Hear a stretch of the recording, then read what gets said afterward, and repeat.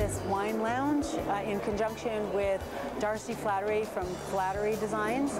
And this is a 4,800 square foot space. It's the wine lounge for Canada Blooms. The theme for the whole show is It's a Party. And the theme for the wine lounge is Alice in Wonderland, Mad Hatter Tea Party. So we've got all kinds of elements in the garden that are related to that theme.